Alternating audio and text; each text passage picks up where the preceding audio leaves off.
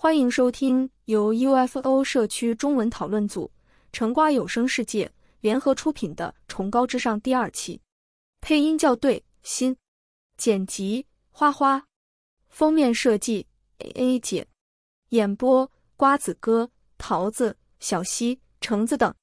军工复合体。当他们测试，他们在二战后从纳粹还有外星人那收到的大量技术时。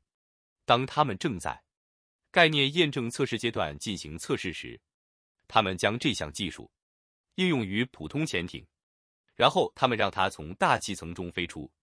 这是他们第一次真正能够驾驶一艘飞船，使用电化学技术驶出我们的大气层。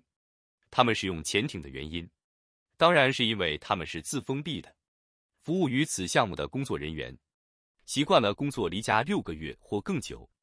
他们带着所有的物资，他们有能够处理那些紧张时刻的心理素质，并维持很长时间。该技术发展到了一定程度，他们发展了财务和财务计划，用来开始建造这些长雪茄型舰队，其中一些有一公里长或更长，并且他们可以通过部件组合来延长它们。这些部件是模组，就如同现代潜艇里的一样。他们可以拆开机身，并拉出部件，其中一个模块可以作为实验室使用三或四个月，或者很多不同的科学计划。然后在下一个计划节点时，模块被换出，然后就变成了一艘医院飞船。在下一次将模块换出，又变成了部队运输舰，或者只是一个长途货轮。所以这些飞船是很模块化的。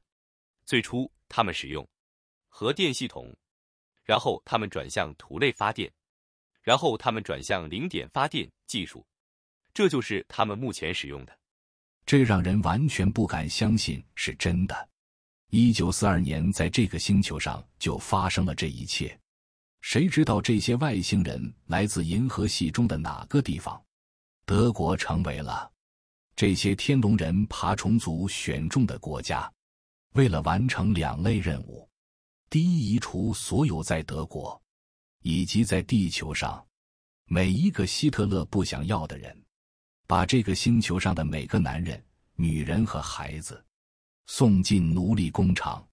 男人、女人和孩子用来建造这些不同类型的天龙人海军太空战舰组。这可能听起来很疯狂。但这就是当时发生的事情。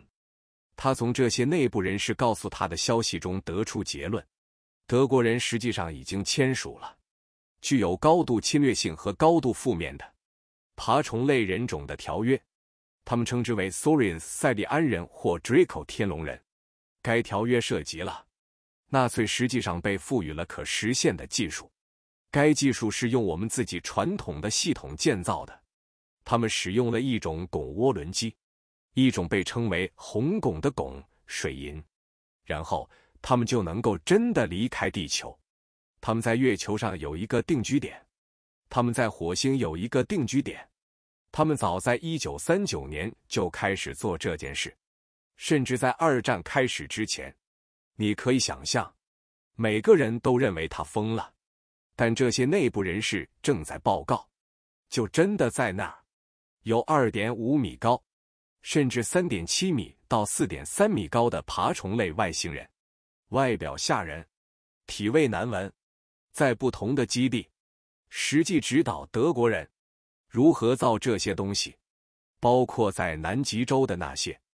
跳高行动于一九四七年，由海军上将理查德·伯德领导，公开的说，这是一次科学探索，但真实发生的事情是。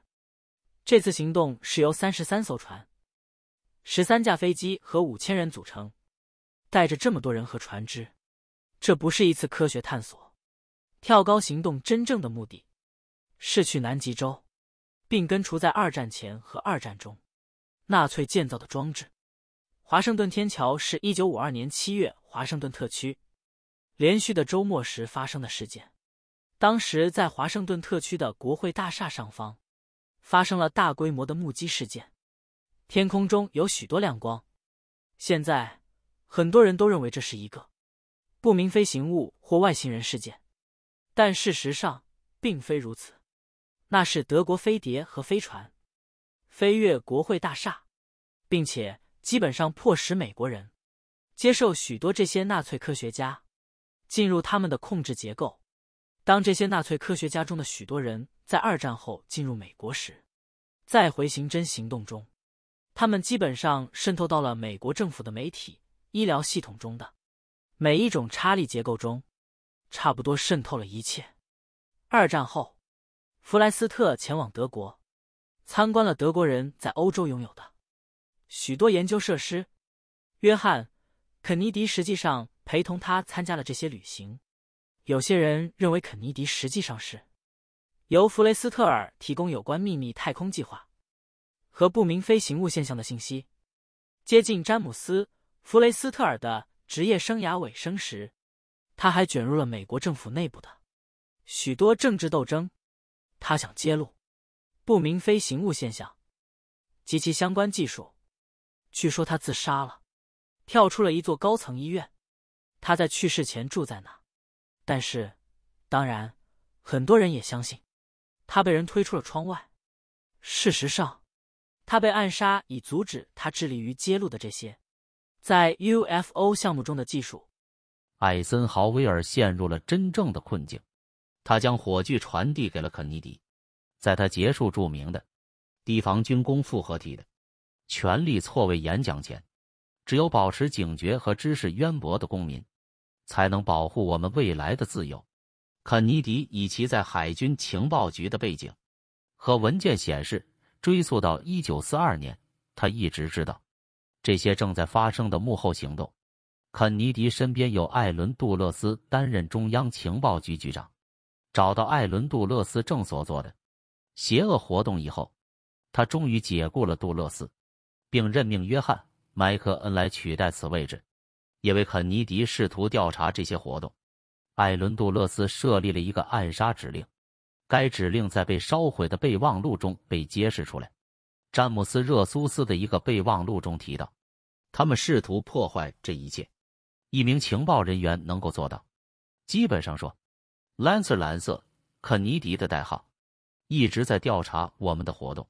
这事儿我们绝对不允许。这个小组正在与。一九五五年签署该条约的小组合作，所以当肯尼迪向中央情报局局长提交了一份调查 MJ 十二的绝密文件，关于中央情报局与外星人合作的绝密文件时，他被沉默了。十天后，他被暗杀。多年过后，顺便说一句，沃伦委员会总统特别调查肯尼迪遇刺事件委员会。肯尼迪著名的整个阴谋体系渗透，并提防秘密和秘密社团的危险的演讲。讽刺的是，沃伦委员会，他们说这是一个孤立行动的枪手干的。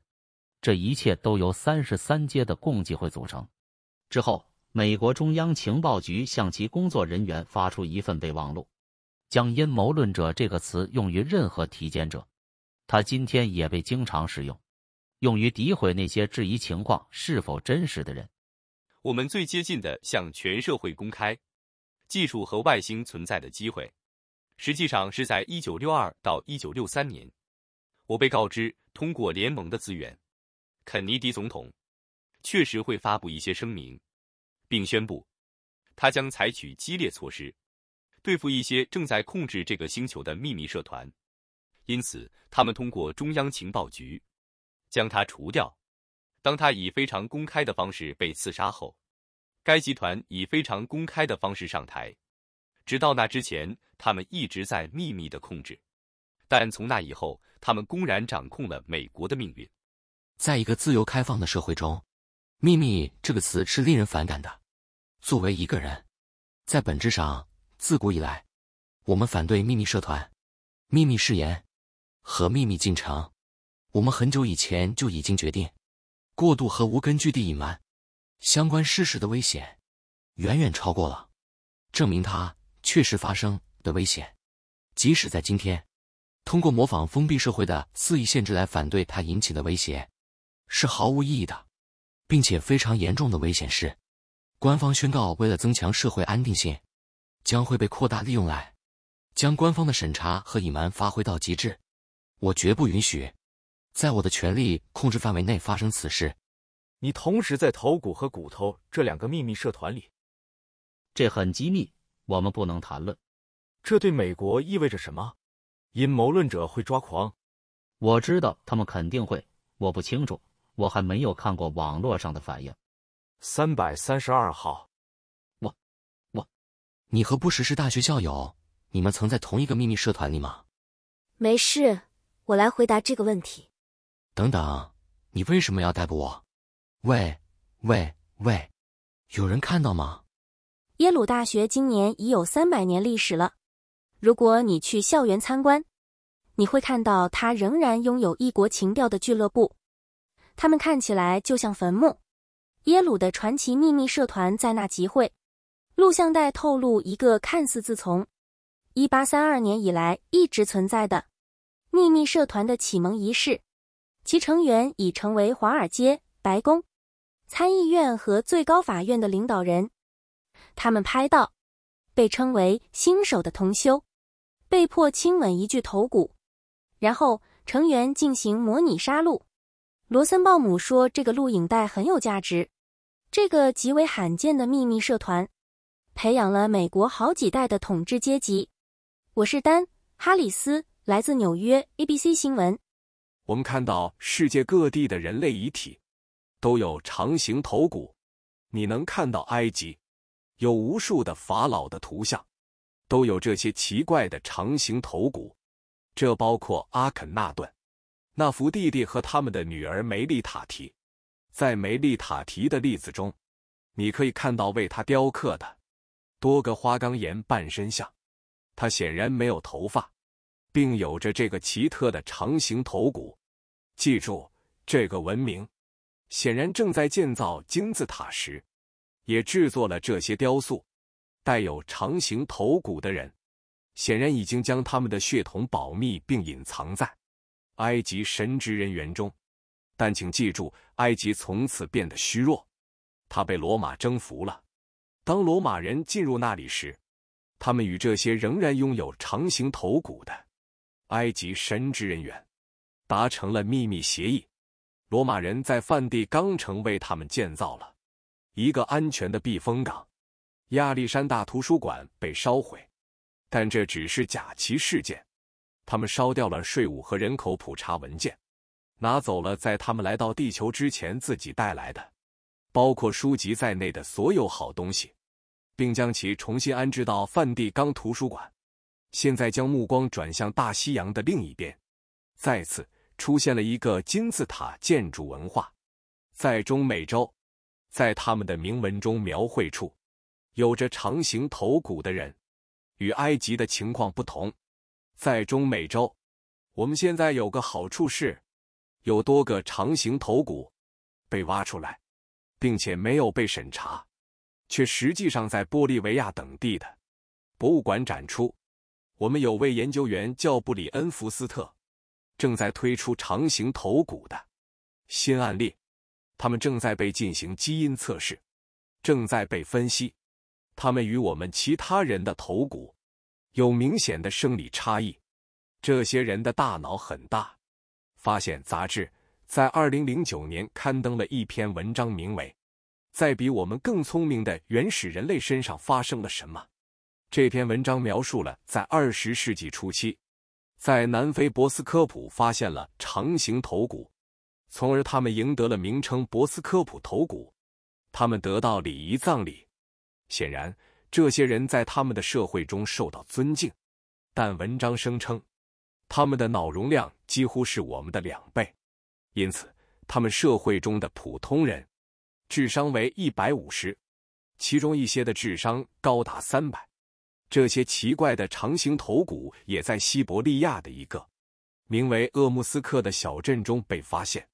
挖掘他们的人非常害怕，他们中许多人开始哭，并离开了工作，并拒绝回来。我们再进一步转向蒙古征服者的案例，有报道称他们有奇怪的长形头骨，而且最近，即使在欧洲，我们也发现了贵族的坟墓，保存血统的富人，例如在法国，他们也有这种奇异的长形头骨特征。直到内部人士开始告诉我，我才想到这样一个事实：在梵蒂冈，你会看到戴着这些主教法官的人，那些帽子非常好的隐藏了一个长形头骨。这些有长形头骨的人，脸上看起来和我们一样，而帽子隐藏了唯一会让他们看起来与众不同的地方。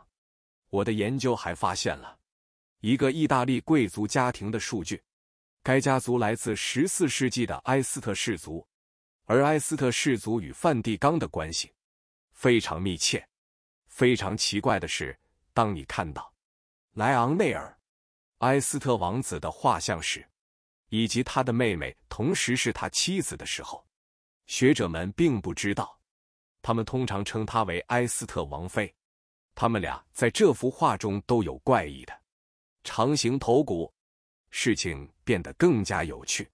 当你追踪埃斯特氏族的后代时，他们留下的血统，就是你所发现的，就是在一七一四年开始执政的国王乔治一世，是这些人的直接血统后裔。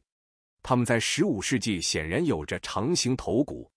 然后你会发现很多早期的英国配偶及贵族，也是埃斯特家族的直系后裔。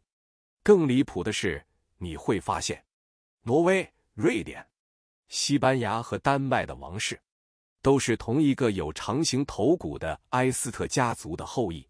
让我们记住，最近我们在法国和欧洲其他国家发现了皇家坟墓，这些贵族们同样拥有这些长形头骨。如果你认为这只与欧洲贵族的君王权力有关，那你就错了。一九八八年，《纽约时报》的一篇文章，完全追溯了当时四十位美国总统中的十三位与欧洲贵族有直接血缘关系。二零一二年，一位十二岁女孩，名叫布里吉安妮·阿维尼翁，实际上利用互联网和电脑的力量，对美国总统们进行了更为复杂的家谱研究。在今晚的学校观察上。来自萨利纳斯的七年级学生的故事，声称已经对奥巴马总统做出了重大发现。他和他的祖父都说，除了其中一位总统之外，是指第八任总统马丁·范布伦，奥巴马总统与所有美国总统都有关。他发现四十三位美国总统中有四十二位都有一位共同的祖先——英国国王约翰一世，而他不仅仅是一位普通的老国王。而是真正垄断大宪章的人。大宪章后来成为英国宪法的决定性因素。他在夏天在互联网上花了无数个小时研究我们总统们的血统。这个项目始于他试图追踪自己的家谱。我是第一位研究所有总统的历史学家。这几乎是我们曾经拥有的所有美国总统。总的来说。这些人正在跟踪他们的血统，他们追踪他们的世系，来确保自己人能够进入全球最高权力和影响力的位置，包括美国。在秘密组织中，既有好人也有坏人，正义和邪恶人士都有。许多这些秘密组织当然涉及非常黑暗的行径，但也有一些秘密组织拥有知识、信息和技术。以使其不受深层政府或邪恶人士，或那些会对这些技术造成损害的人们的控制。其中一些非常著名的精英，呃，名字我不会提。在看这个视频的观众都知道的那些人，都深卷其中。不仅在一些奴隶贸易方面，而且还参与处理外星存有，并在地球上处理有组织犯罪，以及他与该计划的关系。我会告诉你，多伊奇主任，作为前洛杉矶警方毒品侦探，该机构长期在金国范围内处理毒品。多伊奇主任，我将向您介绍三个特定的代理机构，即 Amadeus、艾玛迪斯、Pegasus、珀加索斯和 Watchtower 守望台。我有守望台的文件，由该机构严重编辑更改。我亲自接触过中央情报局的行动，并由中央情报局人员招募。他们试图在七十年代后期招募我，以参与保护该国的代理非法药物业务。为了记录，我的名字是麦克·鲁伯特 （R U P P E R T）。我的确在十八年前提供了这些信息。因此，我遭到枪击，并被迫退出洛杉矶警察局。我已经连续十八年保持记录。我很乐意为国会议员提供我所拥有的一切。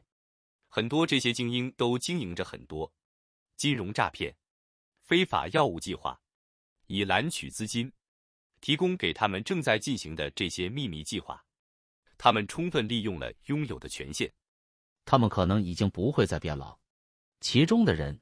你不知道他们是谁，你甚至不知道他们的名字。他们如果去七仔便利店，你一点都不会发现，所以你也不会知道他们不会衰老，也永远不会生病。不，后代将会诞生，他们会超级聪明，超级强壮，各个方面的生活质量都有提高。我确信百分之一的人正在享受这些，而其余的人因疾病和畸形等等奄奄一息。他们四处活动，身形漂亮，那只是在医疗领域。然后再想想其他的事情，运输领域，他们用来旅行的载具，家庭安保，所有这些东西。你知道，他就像现代郊区的某个人看着一个生活在洞穴里的人。我们就是生活在洞穴里的人。经常发生的事情是，一个精英人士将活到一个非常老、非常成熟的年龄。然后可能会死去，或者他们会在公开场合死于某种意外。私下里，他们被带走了。根据他们的级别，他们要么被返老还童，要么他们的意识被下载到与他们完全相同的克隆体中，然后他们就永远从公众的视线中消失。随后进入这些项目或退休，这是在项目中经常出现的东西。每个了解内幕的人都知道，精英有权进入这些项目，而且其中许多人从未真正死去。阴谋集团或新世界秩序的深层架构是一小群非常强大，但精神很有问题的人。他们在几个世纪的时间里获得了大量资金、大量技术和大量信息。绝对是你们的政客，老政客，掌握权力的一把手们，占百分之一的。董事会主席们，就是这些人，就是这些人，就是那些人。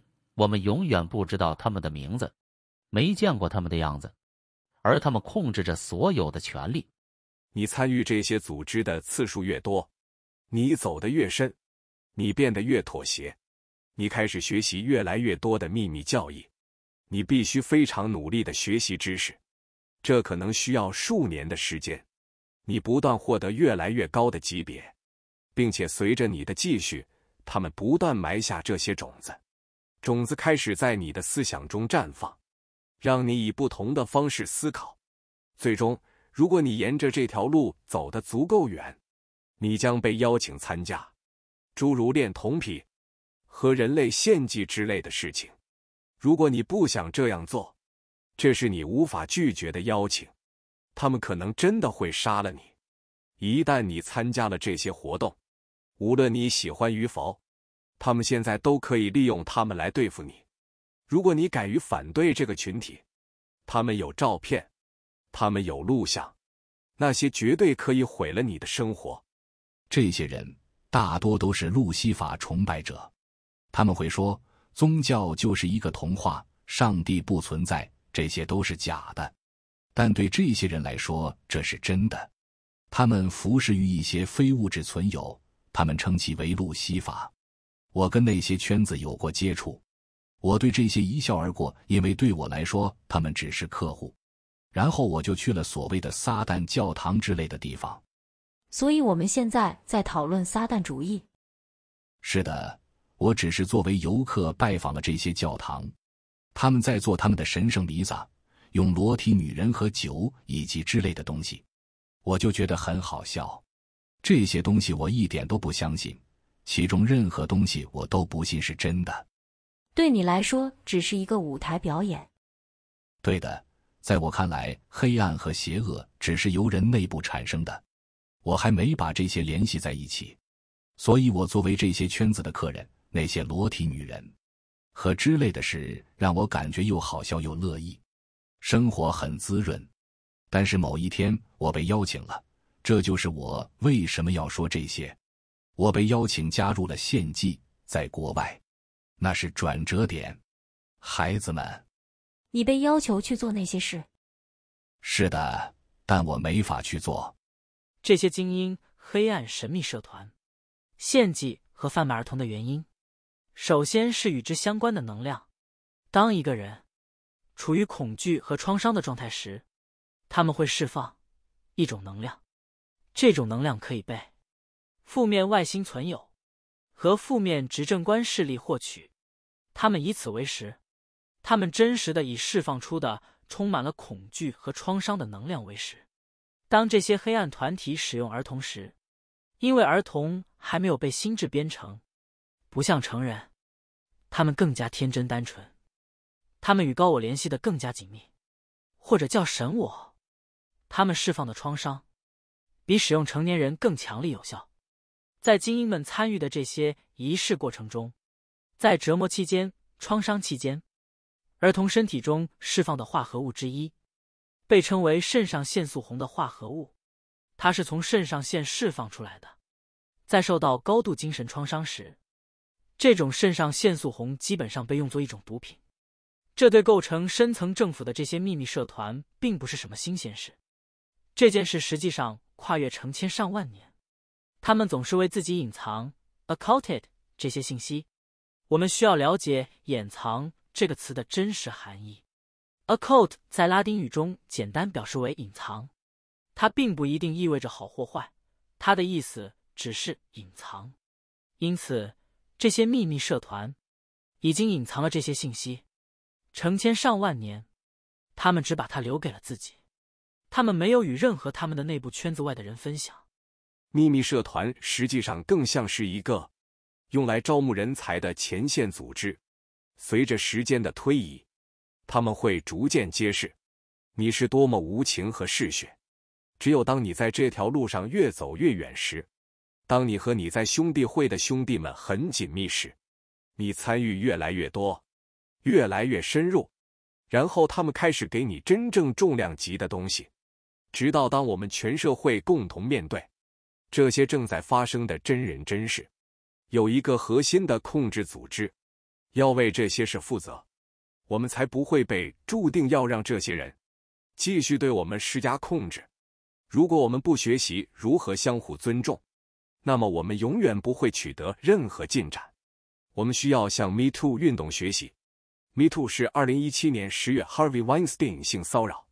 事件后，在社交媒体上广泛传播的一个主题标签，用于谴责性侵犯与性骚扰行为，字面意思是“我也是”，并认识到存在腐败、存在强暴、存在恋童癖、存在贩卖儿童、存在人类献祭、存在食人主义，所有这些事情都在发生，因为有一个隐藏的精英团体。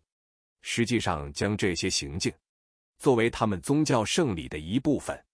你是否相信这些人是否存在并不重要，最重要的是他们实际上在不断的宣传自己。他们将魔爪也伸向了电影行业。你可以在电影中找到一整套符号，用来展示他们的影响力。他们在电子游戏领域也这么做了，在电视节目中也是如此。他们在 MV 中更是疯狂。他们在颁奖仪式上也这么做了。其实你在任何地方都能看见。